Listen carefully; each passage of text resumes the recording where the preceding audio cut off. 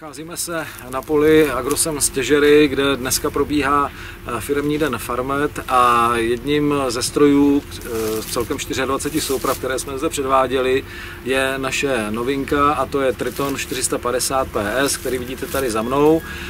Je to stroj, který jsme uvedli na sklonku loňského roku, eh, patří tedy mezi naše novinky.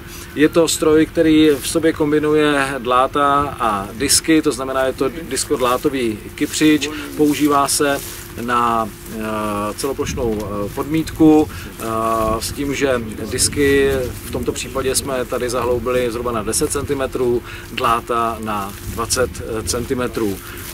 Záběr je to 4,5 metru, který vidíte tady za mnou a je to tažený stroj. Nacházíme se na pozemcích Agrosemu Stěžerí, které nám vyhovělo v, konání předváděcí akce. Společně ji děláme s firmou Farmet. Jelikož jsme blízko Farmetu, tak jsme se dohodli, že to děláme, děláme na půl. E, bylo předvedeno 24 souprav v poli, pět strojů je stacionárně na dvoře.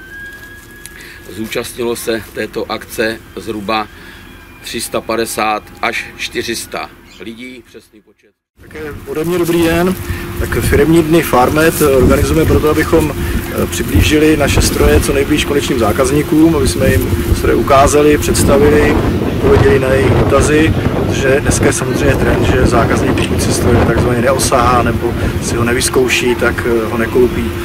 Takže v těchto aktivitách chceme pokračovat. Už jsme měli prezentace v Maďarsku, na Slovensku, eh, samozřejmě v Čechách, v Polsku.